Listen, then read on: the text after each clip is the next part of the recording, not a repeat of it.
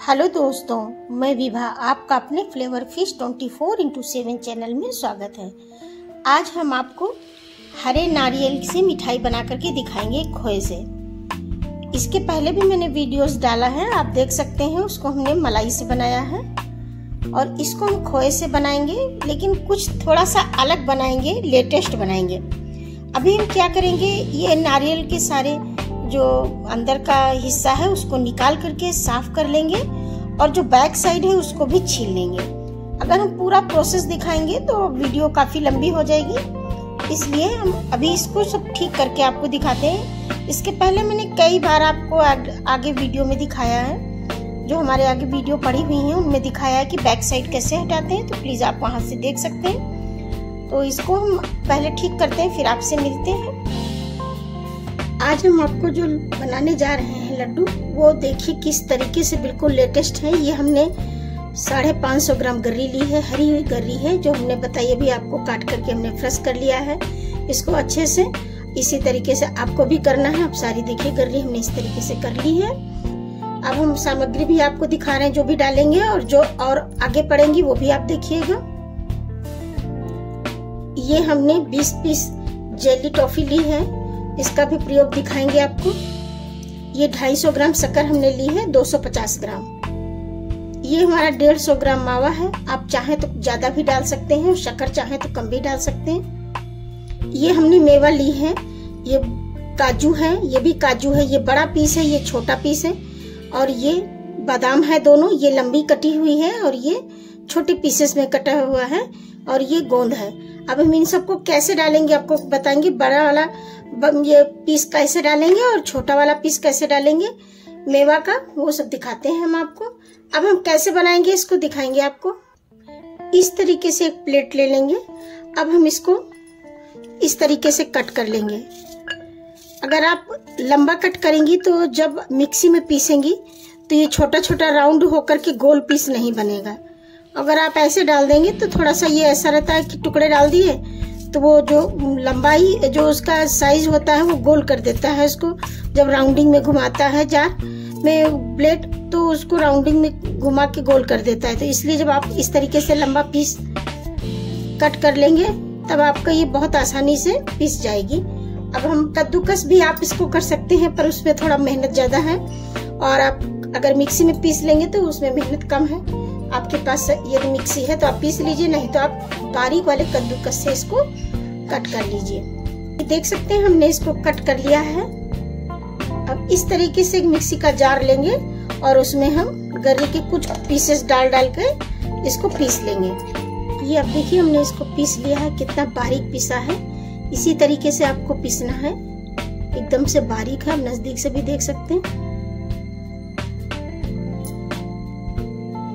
अब ये जो हमारी टॉफी है, इनको हम निकाल लेंगे। इस तरीके से सारी टॉफीज को आप बाहर निकाल लीजिए। इसमें यही चेरी वाली यूज़ कीजिएगा। अगर आपने खट्टी वाली यूज़ कर दी तो फिर आपकी रेसिपी का टेस्ट बिगड़ जाएगा। ये इसी का टेस्ट अच्छा आता है इसमें। हमने बनाई हमारे बच्चे बहुत पसंद करते हैं। एक बार आप भी ट्राई कीजिए। इस तरीके से सारा पहले इसको आप टॉफी को निकाल लीजिए। आपके घर में जिस हिसाब से कैंडिडेट्स हो और आप जिस हिसाब से बनाना चाहते हो तो उसी के हिसाब से हर चीज़ आपको बढ़ानी है। ये देखिए, हमने निकाल लिया है। अब आप इनको इस तरीके से मैश कर लीजिए। दो चम्मच आप रखिए, दो फॉक रखिए आप इस तरीके से इनको आपको मसलना है। इस तरीके से। ये देखिए, बहुत आसानी से मसल जाएँगे, बस थोड़ा सा आपको कोशिश करनी होगी। इस तरीके से सब आप मैश कर दीजिए। यदि आपने हमारा चैनल सब्सक्राइब नहीं किया है तो प्लीज़ कर लीजिए अगर किया है आपने तो आपको बहुत बहुत धन्यवाद। तो इस तरीके से जो है, आप इनको मैश कर दीजिए, और सबको अच्छे से ये आप देख सकते हैं, इसको अच्छे से हमने मसल दिया है। अब हम इसमें क्या करेंगे? ये जो हमारे बारीक वाले टुकड़े हैं, काजू और बादाम, उनको डाल देंगे इसमें। और इनको अच्छे से मिक्स कर देंगे। आप हाथ का भी यूज़ कर सकते हैं हाथ से भी मसल लें, कोई बात नहीं है। जैसे आपको सुविधा हो वैसे आप कर लें।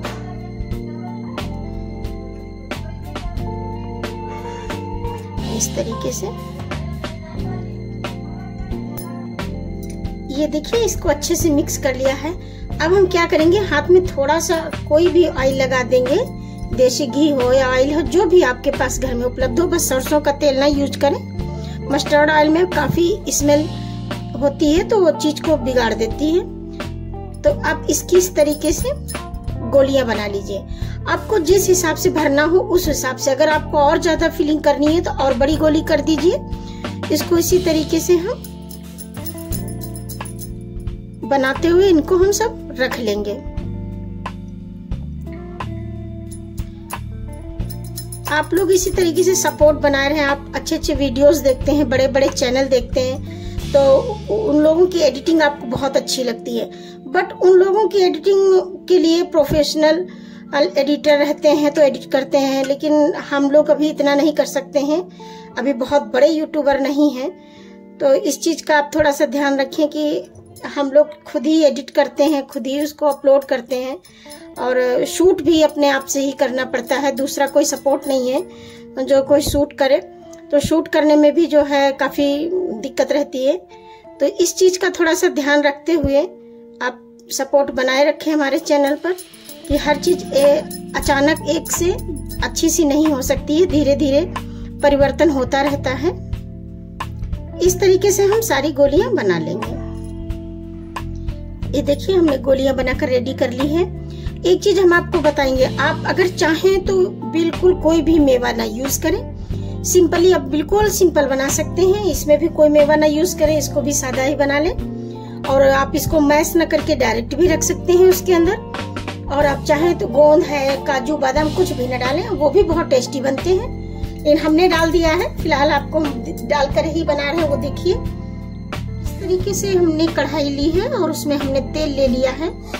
मतलब आप चाहें तो घी ले सकते हैं, चाहे आप कोई रिफाइंड वगैरह ले सकते हैं, मूंगफली का ले सकते हैं। सरसों का तेल आपको नहीं लेना है। अब हम इसमें गोंद को डाल करके भूनेंगे। जो हम आपको गोंद दिखाए थे, ये अब इसको डाल करके भूनेंगे। इसका बिल्कुल टेस्ट अलग हो जाता है लड्डू का। आप इस तरीके से बनाइए और आप जैसे पहले बनाते थे या उस टाइप से, और या तो फिर आप अपने हिसाब से बनाइए, तब देखिए कितना अंतर है। टेस्ट में बहुत अंतर रहता है। सारे लड्डुओं में मैंने काफ़ी वीडियो अपलोड किए हैं नारियल के, मिठाई के।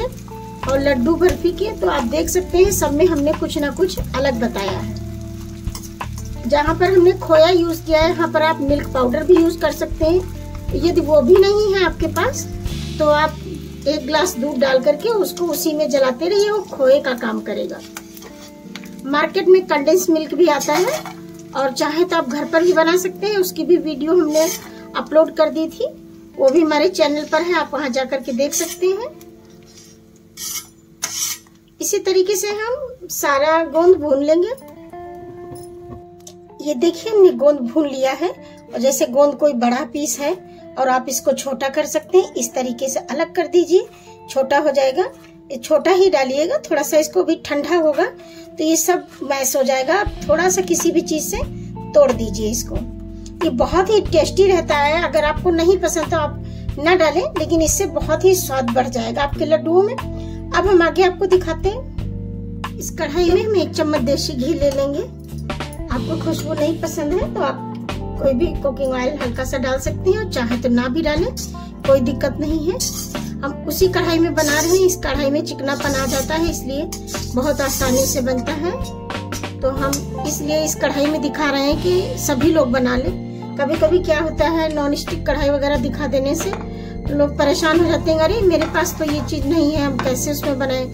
लेकिन ऐसा नहीं है, आपके पास जो भी है, आप उसी में बनाइए। सब में हर चीज़ बन जाती है। पहले क्या इतना सब चलता था? फिर चूरा चलता था नॉन स्टिक ऐसा कुछ नहीं है। आप जैसे बना सकते हैं, वैसे बनाइए।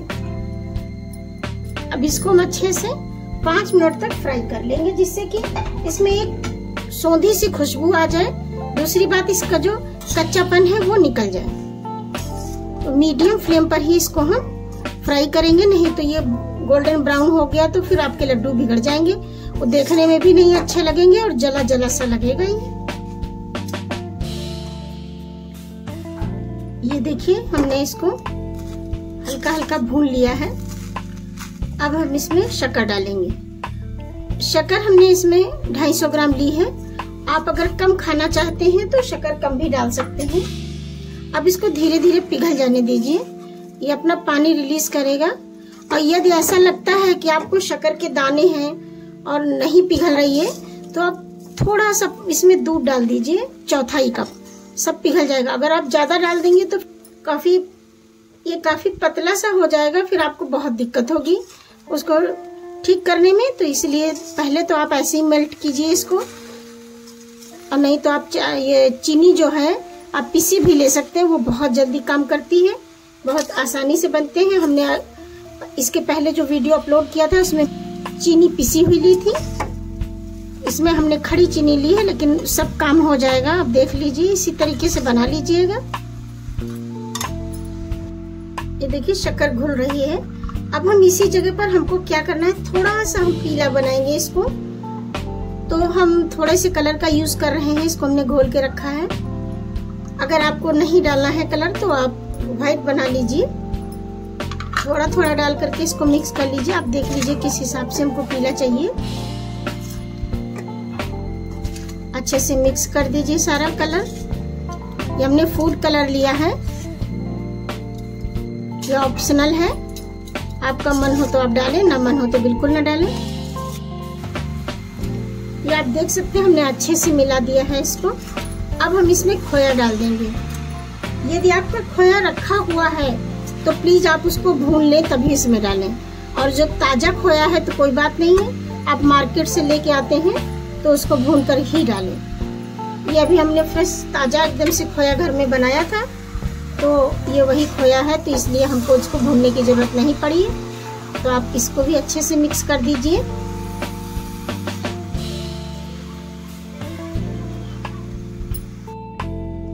ये देखिए, इस तरीके से रेडी हुआ है ये।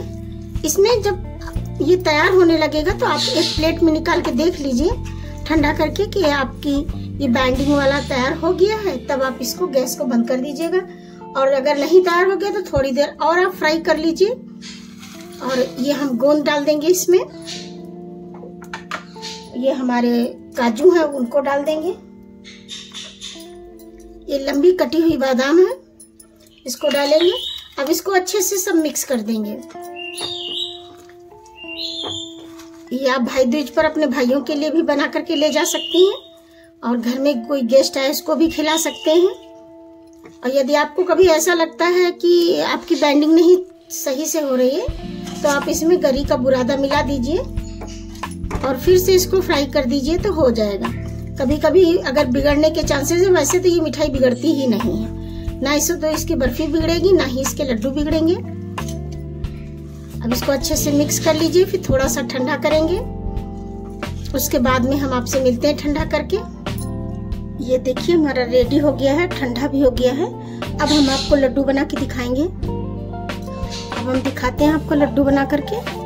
इस तरीके से। ये लड्डू आपका बड़ा भी काफ़ी बनेगा, क्योंकि तो जब इसके अंदर हम फिलिंग को भरेंगे, तब ये साइज़ में बड़ा भी हो जाएगा। इस तरीके से आप बना लीजिए इसको। बहुत आराम से और धीरे धीरे आपको बनाना है। और इसके ऊपर भी थोड़ा सा इस तरीके से रख करके इसको ढक दीजिए। ऐसे ऐसे गोल करते हुए।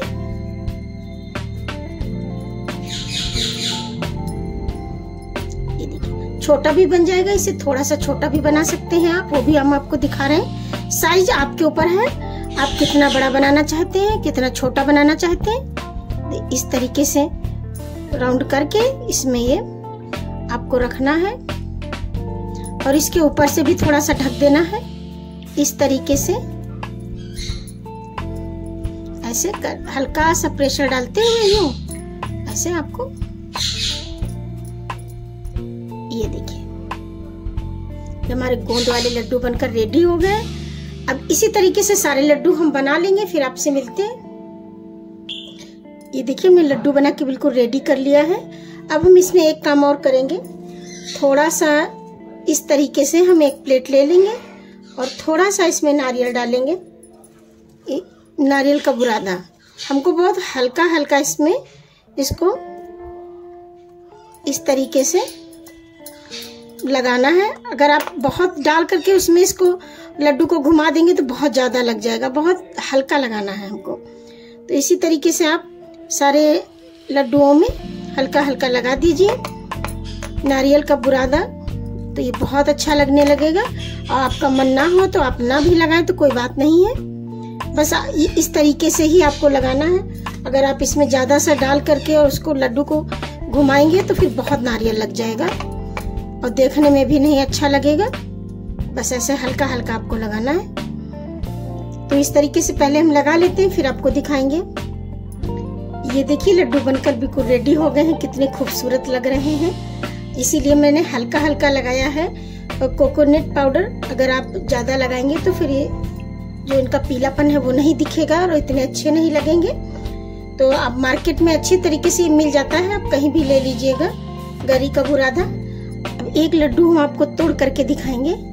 कि ये आपको कैसा लग रहा है, इसका तोड़ के दिखाने का कोई मतलब नहीं है, ये खाने पर ही पता चलेगा कि कितना टेस्टी है।